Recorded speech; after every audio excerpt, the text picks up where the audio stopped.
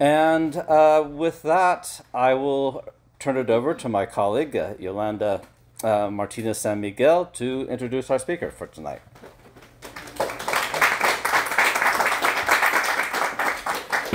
So I'm honored to introduce my colleague, uh, Dr. Omar Vargas, on behalf of the Michelle Bauman Underwood Department of Modern Languages and Literatures uh, at the University of Miami. Uh, Dr. Vargas joined us in 2015.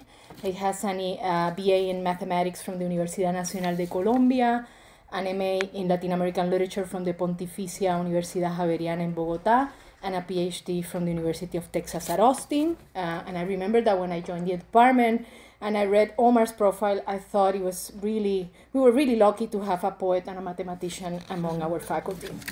So Dr. Vargas studies the relationship between science and literature with an interest in exploring the ways in which scientific knowledge and modes of thinking transform literature and the way in which literature is also a special space to speculate about new theories of knowledge.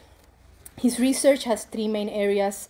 First, uh, mathematical references in the works of Cuban writer Jose Lezama Lima, Mexican writer Salvador Elizondo, and Colombian writer Gabriel Garcia Marquez. Second, a series of articles about different aspects of Gabriel Garcia Marquez's works, such as condensation of time and space, in a series of repeating scenes that he compares to Mandelbrot fractals, and this he denominates fractalismo mágico. Uh, the overlapping cultural references in Beatles songs and Garcia Marquez narratives, and the representation of dementia, memory, and cognitive issues in several of his short stories and novels. And third, uh, references to scientific writing in Ernesto Sabato's literary works, which is the work, uh, the topic of his second book project. These projects showcase an in-depth knowledge of the text analyzed, and they also include uh, solid archival research on Jose Lezama Lima and, uh, and Ernesto Sabato. He has published articles on Latin American and Caribbean literary and cultural studies in important academic journals such as Latin American Research Review, Symposium, a quarterly journal of modern literatures, Ciberletras, and Neophilologus, among others. Aside from his scholarship and research, Dr. Vargas is part of the contingent of colleagues in my department who are excellent, excellent teachers I was fortunate enough to visit his class, Garcia Marquez and the Beatles. Isn't that a cool topic? and I was able to witness his stellar pedagogical talents. Students in Omar Vargas's classes participate in an ongoing dialogue in which they perform careful historical contextualizations, meticulous close readings, and sometimes they even embody the voice and perspective of the different narrators character, characters and historical figures depicted in the literary and cultural pieces that he's analyzing in class. I learned so much when I visit his uh, classes, and I understood why he consistently gets uh, perfect scores in, her, in his student evaluations. He's also a very generous colleague who cares deeply about our academic and teaching programs at MLL. On a personal note, however, uh, I have a word from some of our colleagues in MLL who I'm representing today. I've been told that he loves, loves, loves the Boston Red Sox. Sorry, sorry, sorry, sorry. Not my area of expertise. No, no, no. The Yankees, the Yankees, the Yankees. Sorry, sorry. He, he also has an athletic side. Uh, he loves Colombian soccer. Uh, and keep in mind that in Miami, soccer is equivalent to golf in, some, you know, in other parts of the country. So he supports his second career as a soccer player by eating healthy salads, wraps, and other unremarkable menu items, except when he gets his hands around a good bandeja paisa. And I've also heard he's also a great companion and listener during uh, some secret happy hours that happen in our department. so today we're presenting his first monograph, Cantidades Hechizadas y Silogísticas del Sobresalto, La Secreta Ciencia de José Lezama Lima, published by Purdue University Press. This book is a study of mathematical references in Jose Lezama Lima's work, but it also showcases one of Omar's special talents. The titles of his books, articles, and chapters are among the most original and playful I have seen. And in this book, um, Dr. Vargas shares with us original archival research along with his meticulous close readings of poetry and mathematics, two sublime languages for the manifestation of the subtleties of, the human, of human knowledge and imaginations. So congratulations, Omar, on the publication of your book. And the floor, dear colleague, is all yours.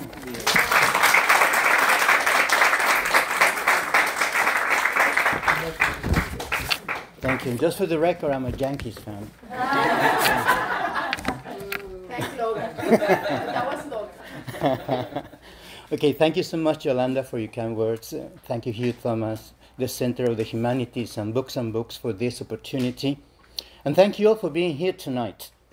This is the first time I will talk about my book, a creature that has been until now confined to some sort of silent existence.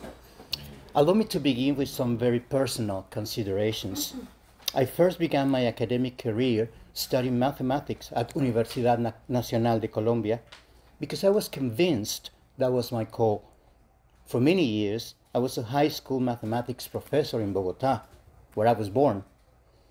However, I also had a strong affinity for reading and writing, and eventually I started a master's program in Latin American literature. I could not help but approach my literary studies by following the principle which states that if all you have is a hammer, everything looks like a nail. It was inevitable for me to use my mathematical background and sensitivity to read and interpret tests. In fact, my master report consisted of exposing what I consider fractal elements in the novel Jose Trigo by Mexican author Fernando del Paso. This work led me to my admission at a doctorate program at the Spanish and Portuguese department of the University of Texas at Austin. My research ended up focusing on literary representations of scientific discoveries in Latin American narrative structures um, from the 20th and 21st centuries. Many Latin American writers of this period um, implemented complex narrative structures and strategies to communicate underlying themes of time and space and crafted fictional works and aesthetic manifestos that are not only aimed to reproduce reality, but also to invent it. This effort reveals a connection between aesthetics and the emergence of a new and pivotal scientific paradigm that deals with alternative ways of understanding, representing, and creating reality. Apart from implementing scientific theories and principles that offer a multifaceted approach to the study of literature, my goal has been to contribute to the understanding and dissemination of otherwise unattainable scientific, theoretical, and experimental knowledge. My mentor at the University of Texas, Professor Cesar Salgado, invited me to conduct research on Jose Lezama Lima, arguably the most important Cuban writer of the 20th century. Lezama is well known as a poet, essayist, cultural promoter, and novelist, but not as a scientist. In fact, there seems to be no evidence of any concrete relationship between him and any pure science discipline. Nonetheless, it was ultimately my preliminary research on Lezama that inspired me to write this book.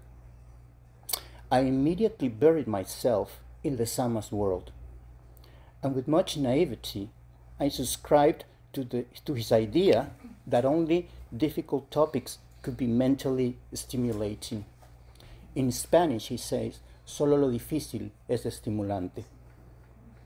I had the conviction that the principles of geometry, physics, and arithmetic could help me dissect the complexities of his writing. Soon I found one of his first tests, El Secreto de Garcilaso, published in 1937. In this crossover between essay and poetry, Lezama postulates, among other things, that the main feature of Garcilaso's poetry is a spectral appropriation of space and time. He proposes something revolutionary at the time regarding Garcilaso.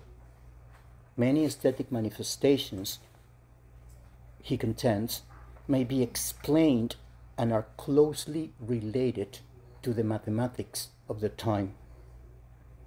In El Secreto de Garcilaso, Lezama alludes to space-time physics, sinuosity of time, and Riemann's geometry, and I just highlight in red those expressions in, in a quotation that I took from that Secreto de Garcilaso. I want to emphasize that these are Lezama's words in 1937. My thought then was, what if I applied to Lezama the tool he uses to understand Garcilaso? I understood the difference between Euclidean and non-Euclidean geometries, and I knew that one of the latter was the one proposed by 19th century German mathematician Bernhard Riemann. I found that extremely fascinated, fascinating since it implied, in very simple terms, a distinction between the real and unreal. So the space-time physics and the sinuosity of time both associated with the theory of relativity, I started studying and learning everything I could. I was intrigued to find Lezama's inspiration for these ideas. I needed to know what readings had provoked such a statement. When I visited Havana for the first time, my main task was to trace what was left of Lezama's library. Likewise, I looked for, scholar, for school academic programs and Cuban scientific publications from the early 20th century to understand what types of literature and reading material young Lezama could have been exposed to. By 1937, Lezama was in his mid 20s, and only a few prominent scientists worldwide understood the theory of relativity. To be perfectly honest, I believe Lezama never really understood it. and I guess he didn't care. Even though it is an uncertain and very difficult enterprise to establish connections between Lezama's literary works and the disciplines of science, I was determined to find out how certain scientific discoveries and developments were embraced in the cultural imaginary of Cuba during the first half of the 20th century and how they inform Lezama's aesthetic production. While in Havana, my interest for the history of science in Cuba took off.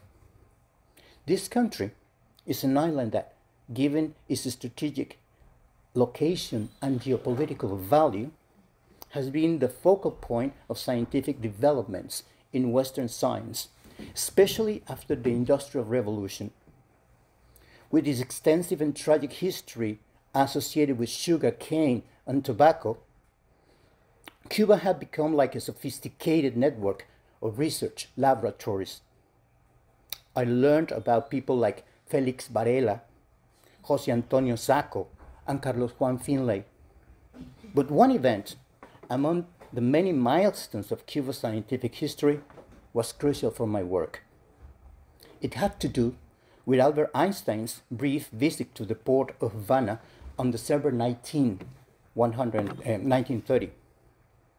That was Lezama's, that day was Lezama's 20th birthday, but it was also the 130th anniversary of the arrival of Alexander von Humboldt to Cuba.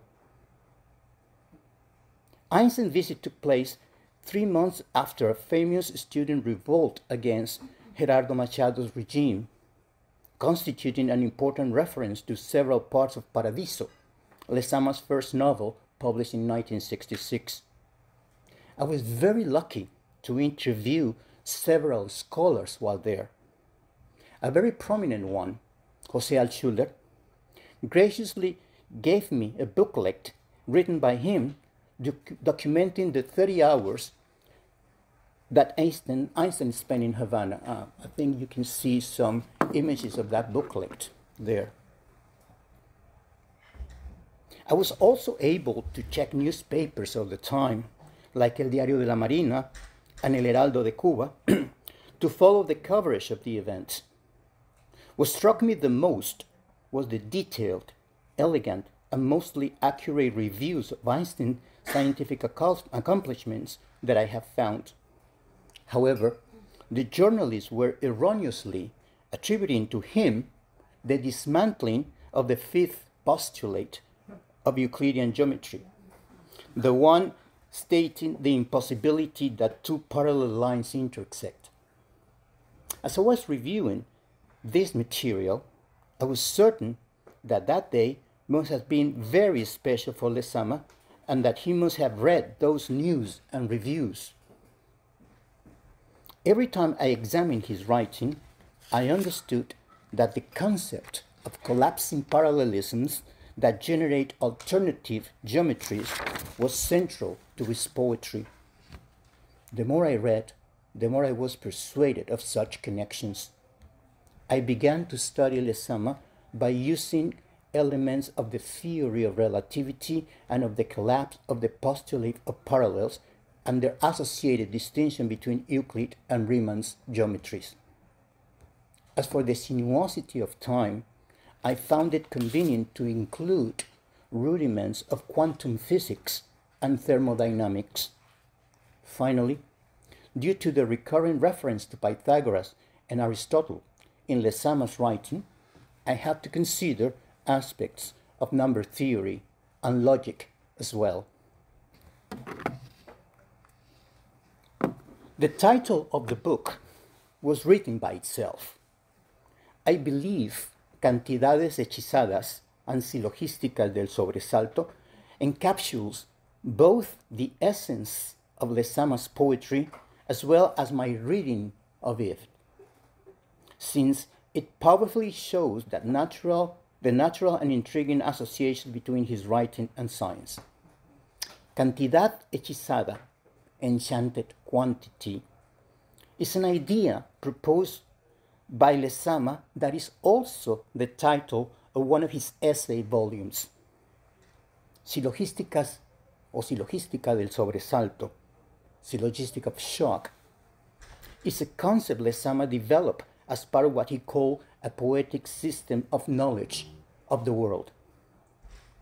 The characteristics of, and properties of his system ratify the confluence of several complex artistic, philosophical, and scientific components of his writing. He uses the Latin origin of the word cantidad, quantus, meaning of what size, how much, how great, what amount, to propose a concrete summary and association of senses and suggest an extended meaning of the word.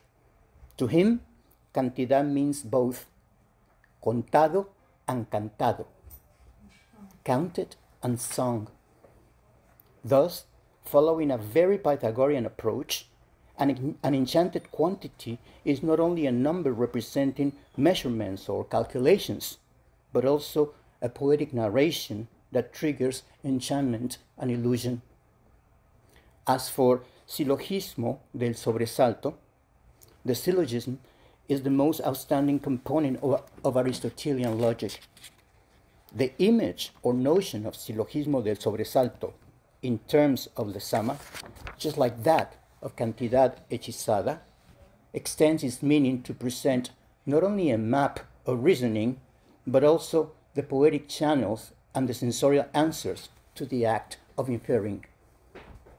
I knew that science in Lezama, like all his references, is hidden. And I decided to call my book Cantidades Hechizadas y Silogística del Sobresalto, la secreta ciencia de José Lezama Lima. My book demonstrates that Lezama appears to use conceptual underpinnings of scientific, scientific theories to foster his rhetorical devices. I establish these connections with respect to several key concepts from mathematics and logic, such as those that form part of the thinking of Eratosthenes, Aristotle, Gottlob Frege, and Bertrand Russell. I also incorporate developments in geometry, including Euclid and Bernhard Riemann, and physics, including Aristotle, Epicurus, Einstein, Lord Kelvin, and Schrödinger. Another main argument in my book is that through the works of Albert Einstein and Lezama, we can see how scientists and poets often use common conceptual tools and approaches to create their systems, the system of knowledge. The reports produced by theoretical scientists utilize communication tools that resemble the rhetorical devices of poets, you know, metaphors, thought experiments, you name it. And conversely, poets deploy techniques of thought that lead to those employed by theoretical scientists. This technique of writing, in fact, is the hallmark of Lezama's corpus. The book consists of an introduction, six chapters, an epilogue, and a conclusion.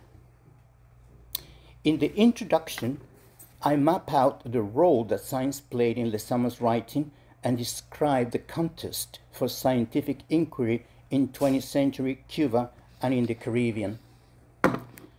Chapter 1, La entrada de Einstein en La Habana, deals with the repercussions of Albert Einstein's brief visit to Havana in 1930 in the formation of young Lezama and in the intellectual life of Cuba. This event allows the dislocation of the parallelism between Einstein and Lezama and between science and poetry. I present here a detailed revision of the remains of Lezama's library to note the presence of scientific books in his collection and his reading habits. There is a thorough analysis on the circulation of the theory of relativity in the main Havana libraries in the 1920s and 1930s, and literature that covers Einstein's visit to Havana by Cuban newspapers of the time. Discussions in the remaining five chapters allude to specific scientific theories that help analyze Lezama's specific tests. Chapter 2, Lezama, el tiempo y los relojes, links Lezama's work to the special theory of relativity. A close reading of three of the most temporal tests by Lezama incesante temporalidad, el cubilete de cuatro relojes, and reojos al reloj, contributes to verify the variety and complexity of the connections that can be established with the poetic system and the application by Lezama of ideas from relativity. Lezama talks about temporal jokes and ends incesante temporalidad with a limerick that illustrates the paradoxes of time when traveling close to the speed of light. And this is an example, a concrete example, in which you can see a brief test of Lezama with this scientific connection. And I want, just want to read it in Spanish, if you don't mind. Érase una niña llamada Leonor que a la luz vencía corriendo mejor. Cuando estaba ausente relativamente, regresaba siempre la noche anterior. In chapter 3, La muerte del tiempo y la configuración poética del espacio-tiempo, I study how the principles considered by Lezama in his 1942 poem, Muerte del Tiempo, are consistent with those of the general theory of relativity. So while chapter 2 is on special relativity, this is on general relativity. In many ways, this point embodies the essence of Lezama's theory of the image, which he refined in subsequent, in subsequent tests. This is further magnified in chapter 12 of Paradiso. The temporal considerations already established around time are amplified here to include spatial manifolds. To, so the dream territory is described as the one that permits the poetic configuration of the continuum space-time. In chapter 4, Geometría Riemanniana, ajedrez huracanes lezamianos, the emphasis is on geometry, and the discussion is built around the res- resonance of the paradigmatic shift from Euclidean to Riemann geometry during, during the 19th century. The Riemann geometry is akin to the fantastic and the impossible. This change can be seen both through the concrete renovation of the concept of parallelism and through the representation of new rules in geometry. Lezama expresses it and applies it through his own proposals to modify the essence of the chess game. In chapter 7 of Paradiso and in the essay Alfonso X el Sabio y Capablanca. Chapter 5, Paralelismos en Crisis, focuses on concrete applications in Lezama's work on the collapse of parallelism and on the metaphor on non-Euclidean geometries. First, through the method of counterpoints and the incorporation of a physical fourth dimension in Lezama's poetic space, something effectively illustrated in El Viajero Inmóvil, a 2008 film by Cuban director Tomas Piard. Actually, the images in the last couple of slides are taken from that film. Finally, the topic of resurrection is addressed as the ultimate expression of counterpoints by means of the collapse of parallelism, temporal and spatial transpositions, and interdimensional contexts. Chapter 6, La cantidad sexuada, coloquio con los números, dives into, the, into arithmetic and logical connections and shows how the essence of the numbers and the relationships between them correspond to the complex tensions and sexual encounters Lezama refers to in his work. Following the Pythagorean principle that everything is number, it is determined what type of numbers are Paradiso's characters, Phocion, Phronesis, Cemí, and Oppiano Licario. After reviewing the historic evolution of the concept of number, and the presence of enchanted quantities in the work of Lezama, it is shown how the singing of Pythagorean numerals in chapter 11 of Paradiso corresponds to the conjunction in which Gottlob Frege and Bertrand Russell leave behind more than 2,000 years of Aristotelian logic to set the foundations of modern logic. A close reading of chapter 6 of Oppiano Licario reveals the mystery of a, of a numerical sequence that is skillfully and unexpectedly incorporates the first seven prime numbers and the number one, the monad, in terms of Pythagoras. And this is another brief example that I want to show you to explain, in my opinion, how he writes and how I read it. You know, this is a brief paragraph of chapter 6 of Oppiano Licario, in which, uh, highlighted in red, you can see some words that correspond to numbers. The number they corresponds to are the numbers, uh, let me see, 1, 2, 4, 6, 10, 12, and 16. I was thinking, as a mathematician, what kind of formula, if any, is there for that sequence? And I found it. And that sequence is exactly the result of finding the seven first prime number minus one. So it's combining prime numbers and one, which in a way is what I explain in the book is the concept of sexuality in terms of Lezama, right? You see the seven first prime numbers, 2, 3, 5, 7, 11, 13, 17, and each one minus 1 gives the, exactly the number he presents in that sequence, in that test. Right. Moving on. The epilogue, El secreto de Lezama, analyzes El secreto de Garcilaso and reveals how, through a detailed reading of the life and work of Garcilaso, Lezama presents his poetic manifesto as he makes relevant scientific appropriations. In the conclusion, Oro Luminoso de Profecías I show how the correspondence between arts and science proposed by Lezama anticipates later formulations of Baroque and Neo-Baroque theories by the writers Severo Sarduy in 1974 and Omar Calabrese in 1987. As already mentioned, Lezama holds that expressions attempted in cultural creations are weightlessly resolved in other arts. This is the same principle that he would call resonancia and Sarduy would call retombée. Resonancia or retombée, what matters is that they depict a non hierarchical relationship between different cultural, philosophical, scientific, and aesthetic manifestations. Just like Oppiano Licario shows the way to José Cemí, Lezama guides Sarduy, who in turn does the same to Calabrese.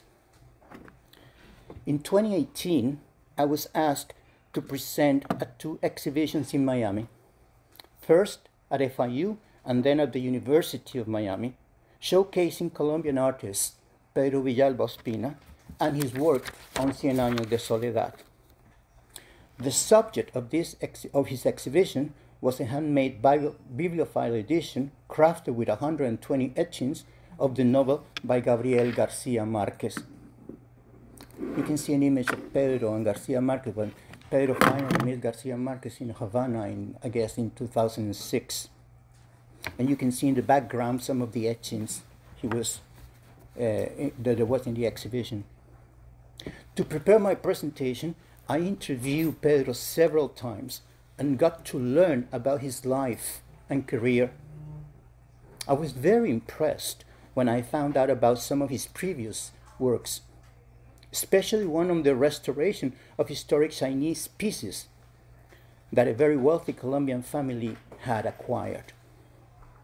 One of the most outstanding pieces he created in those days, in my opinion, is known as Poema Cartográfico, El Conocimiento Servido, a painting on a large wooden dinner table that you can see there. One of the images of that painting in one of those corners is called Esfera con paisaje nocturno y cultura griega. And it caught my attention because it was extremely beautiful and because I felt it was painted like he was, Pedro was, unconsciously but firmly following Lezama's poetry. I asked Pedro permission to use the image in my book and he accepted. I am convinced that this painting was made for my book. I want to acknowledge and thank all the people who read earlier versions of my manuscript and whose ideas, additions, suggestions, and support helping me to finish. Cesar Salgado, Yolanda Martinez San Miguel, Lilian Manzor, Lily Lugo, Joyce Desner, Marcela Martinez, Daniela Ferrero, Caterine Pérez, Julieta Leo, Yamileli Montá, Sidney Billings, my colleagues at the Michelle Bowman Underwood Department of Modern Languages and Literature, I say it right away, yeah, and all my colleagues at UM. Most, very importantly, my students and my students at UM, my main source of inspiration. I, I thank the ones that are here tonight. Thank you so much for being here. Pedro Villalba Ospina, Francisco Díaz Granados, María Dolores Jaramillo, Rachel Barra, the Connors family, and last but not least, my family and friends in Bogota. And there you have it. It is with humility and hope that I invite you to read my book. Thank you so much.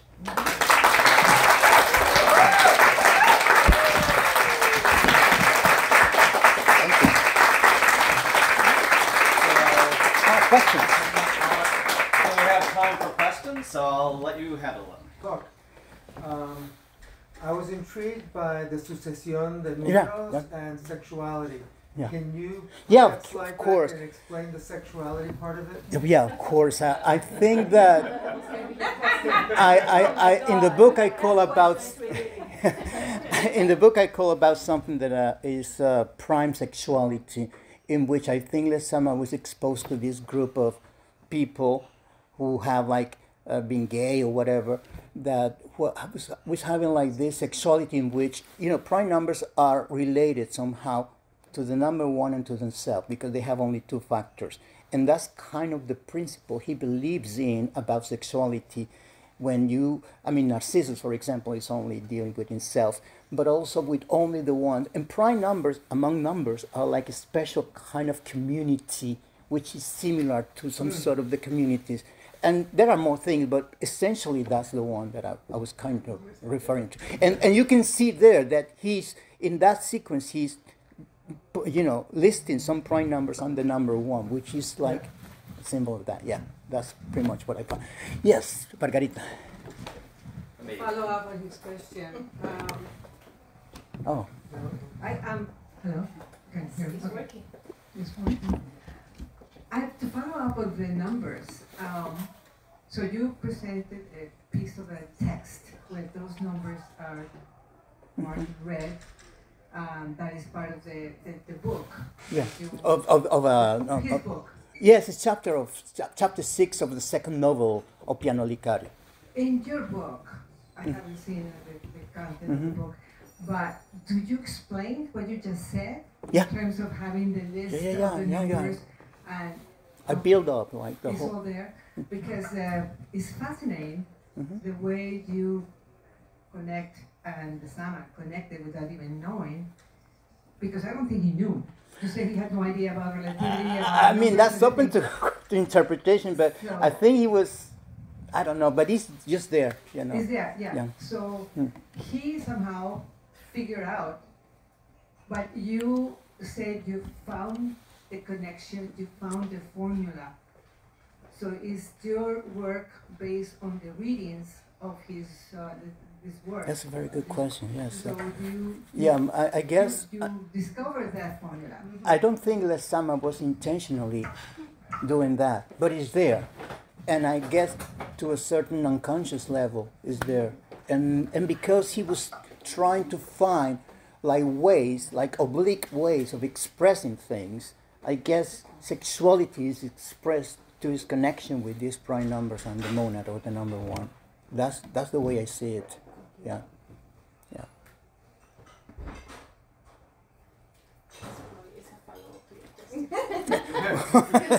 well, actually, when, when, when Paradiso was published in 1966, most of the sexual part of Paradiso is in chapter 8, and that was scandal in Cuba. So the book was forbidden for, for that reason. yeah. So my question actually follows up on, on her question because you make Lezama look like a, I think like a more organized thinker. He's not. and I remember like engaging with like Expresión Americana and all his reference to El Barroco and all the footnotes are wrong. Yeah. He was a very like voracious but at the same time disorganized, disorganized. thinker. So how do you manage that? Like how do you engage with that? What were some of the challenges that you found when just I just learned and I remember talking to this Cuban writer and, and scholar Margarita Mateo Palmer who has mm. written a lot about Lezama and he, he was talking about choteo thinking in Cuban terms like he's all the time playing with those quotations making up stuff. So you got to understand that because my first frustration was like when I read about El Secreto de Garcilaso I felt like I got to look where he got that from and the first, the only book I found on Einstein was published like in 1950 in his library. I mean, so it wasn't possible to trace that. So it wasn't possible to figure him out. Like, you never know. But still, my, my, my take is like you can read and reorganize in your own terms what is there. Perhaps he didn't mean it like that, but still, it's a very valuable reading, and and it's good because he is so provocative. He is so that perhaps all of this organization can be, you know, uh, like uh, an inspiration for creating new things. That's the way I saw it. Yeah. Vivian? Okay. My question is so much simpler. I'm sorry, Orion. So, uh, oh no, no, okay. Well, I don't like that microphone because my voice looks different, sounds different to me. I don't recognize myself. So I'd like to see if you could go back to the slide of uh, La Niña Leonor. And, yeah, yeah. Because I mean, I was wondering. I, I thought it was a tremendous, very interesting way because if she was traveling faster than the speed of light, of course, which is impossible.